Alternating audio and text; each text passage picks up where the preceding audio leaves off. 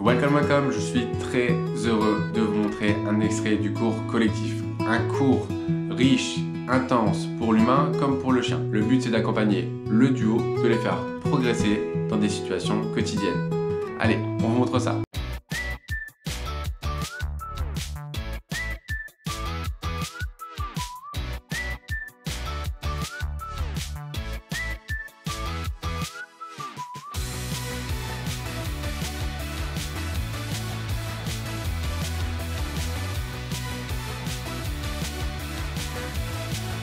Durant ce cours, on commence régulièrement par la marche en laisse. Pourquoi? Pour rebifurquer le chien sur l'humain, reconcentrer le chien sur l'humain et pour pouvoir évoluer plus facilement en situation distractive.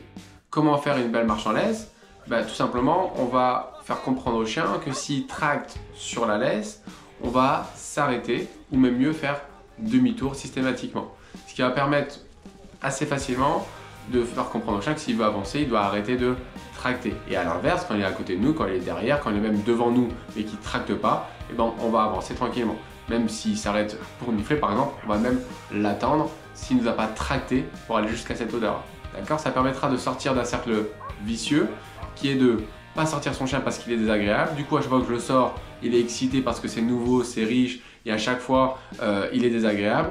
Et de plutôt aller vers un cercle vertueux où comme mon chien est agréable, je prends partout. Vu qu'il va partout, il voit tout. Et du coup, ça me permet d'aller beaucoup plus facilement dans les situations parce qu'il est plus euh, adapté à la situation. C'est moins stressant pour lui. Nous allons également apprendre à bien communiquer. Que l'humain se fasse comprendre par son chien et que le chien puisse comprendre son humain. Pour ça, ça va être de la communication non verbale. Donc il va falloir que l'humain soit capable d'utiliser son corps, sa gestuelle et son comportement pour avoir la meilleure compréhension possible. Allez, 10 codes en non verbal. Apprenez à...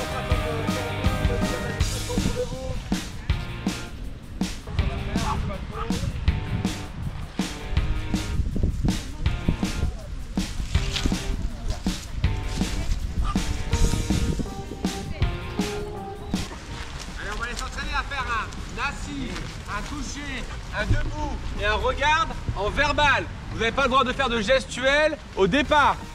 Ça ne veut pas dire que vous ne pouvez pas le faire après. Mais au départ, vous ne faites pas de gestuel. On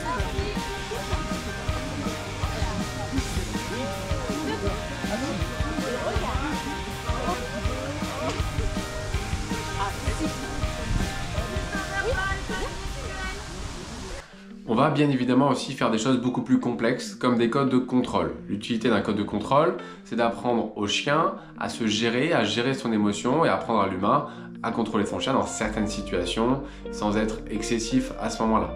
Donc là par exemple on va utiliser le pas bouger et on va demander à notre chien de se stabiliser alors qu'autour de lui il y aura de l'intensité. Le but c'est que ça vienne facile pour le chien, soit plus un exercice complexe et ensuite il pourra euh, évoluer beaucoup plus sereinement en société. Non.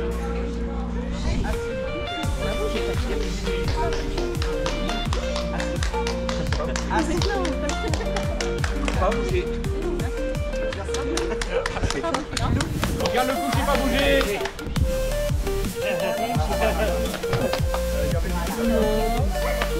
Gardez le coucher. Gardez le coucher. Ça dure un peu longtemps. Gardez le coucher.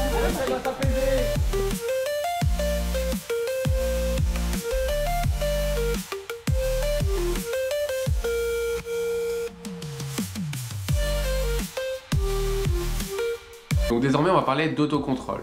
La différence entre l'autocontrôle et le contrôle, c'est que lors du contrôle, l'humain intervient sur son chien.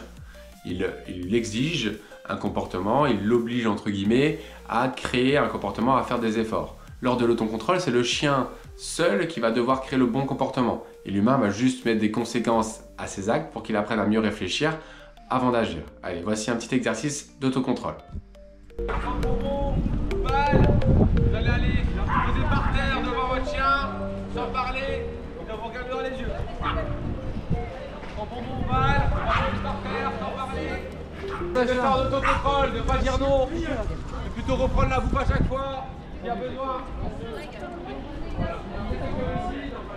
Nos cours collectifs se déroulent toujours dans un lieu différents afin de ne pas avoir un chien qui s'habitue à l'environnement, d'avoir toujours des distractions, des stimuli inconnus afin de stabiliser le chien en société.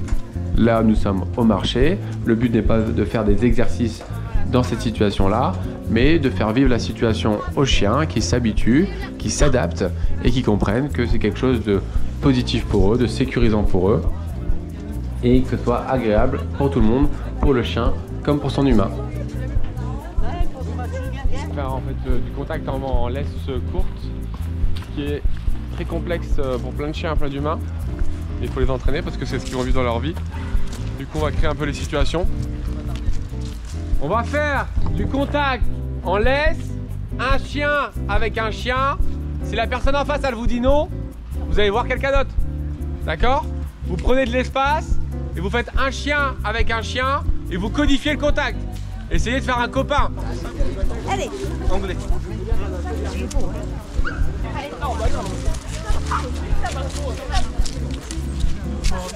Doucement, doucement, gros brut.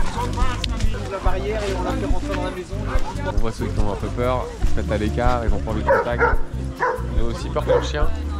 Du coup, c'est pas bon parce que pour la rééducation, ils vont prendre, euh, ils vont prendre un petit peu de temps, beaucoup plus de temps que les autres, parce qu'ils passent pas au-dessus de leur peur. Et. Bien, Ruby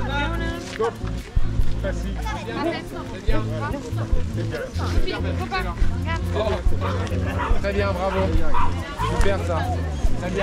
Parfois, nous créons des petits jeux, des petites compétitions. Le but n'est pas euh, d'avoir un gagnant et, de faire de la vraie compétition. Le but, c'est de se mettre en situation où on va être un petit peu plus exigeant. On va essayer de, forcer à aller un peu plus loin que d'habitude. Euh, et la compétition crée un petit peu cet effet-là. Donc là, euh, notre petit jeu est très simple. On fait un assis pas bouger tous en même temps. On n'a pas le droit de répéter en verbal ou en non verbal. Et celui qui reste le plus longtemps, malgré les distractions, a gagné. Un, assis pas bouger, et on le tient. On n'a plus le droit de répéter. On n'a plus le droit de répéter. Alors on n'a plus le droit de répéter, parce que ça triche. Donc ça va durer 4 mains. Allez, ceux qui l'ont loupé, vous pouvez rejoindre Mariette là-bas, tranquillement. C'est pas grave. On va vous entraîner. Allez, ceux qui ont loupé, vous rejoignez Mariette. Allez, tiens Allez, allez, tiens Allez, allez Oh, oh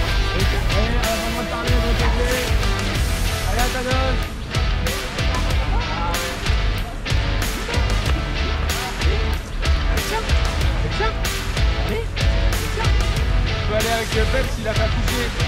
Ça va si.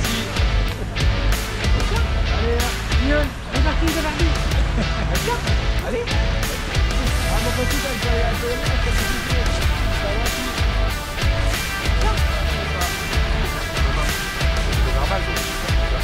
Allez tiens.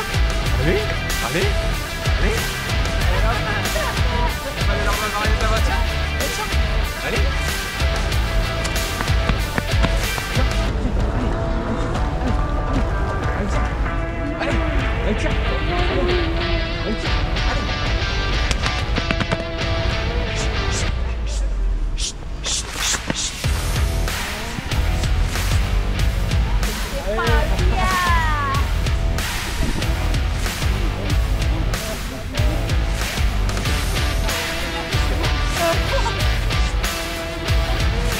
c'est pas mal. Allez, jusqu'au bout là. Vous êtes les grands gagnants. Récompensés Récompensés Allez, ceux qui sont encore là, récompensés, récompensés Allez, très bien. Un grand merci à tous ceux qui nous suivent au quotidien, à tous ceux qui nous font confiance tous les samedis à 11h, qui s'investissent pour leurs chiens. Et on vous dit à bientôt pour des nouvelles aventures. N'hésitez pas à nous suivre, à liker et à s'abonner à la page. Allez, à bientôt, salut